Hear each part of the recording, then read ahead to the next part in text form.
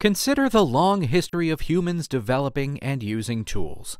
Early spears for hunting, pulleys and wheels for moving objects, sundials to tell the time of day, the printing press. Think of these tools as pieces of hardware. Over time, humans learned to use this hardware with greater and greater precision. Think of this know how as the hardware's instructions for use. Combining hardware with the right instructions could yield remarkable feats. Imagine the build of a grand palace and the many craftspeople, builders, masons, carpenters, and glassmakers who came together, each bringing their own tools and expertise.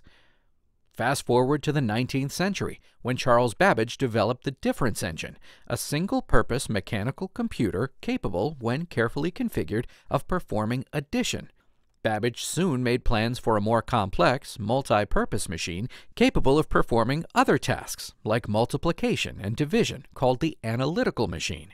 His colleague, a woman named Ada Lovelace, became the world's first ever computer programmer when she wrote an algorithm specifically intended for this new device. Unfortunately, Babbage never finished building the hardware, and the program never ran. To this point, these early computers weren't too different from the other tools humans had developed over our history. A task could be completed using a piece of hardware so long as a human could provide it with the proper instructions. To alter the task, a human would need to entirely redo and reissue the instructions. Then, in the mid 20th century, something game changing happened. Researcher Thomas Kilburn found a way to store a set of instructions on a computing machine, which meant that a task could be repeated or altered with minimal new effort. His stored instructions worked, and software was born.